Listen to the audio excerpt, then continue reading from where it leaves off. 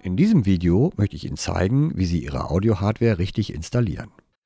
Wenn Sie Audio aufnehmen möchten und dazu ein Headset oder Interface über USB verwenden, sollten Sie darauf achten, dass Sie dies in der richtigen Reihenfolge tun.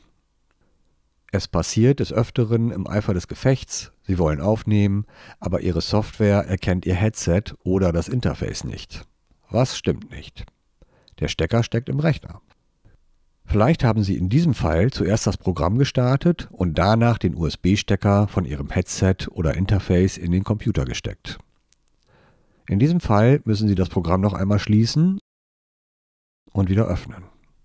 Gehen Sie dann in Ihre Audioeinstellungen, dort können Sie nun Ihre Audioquelle auswählen.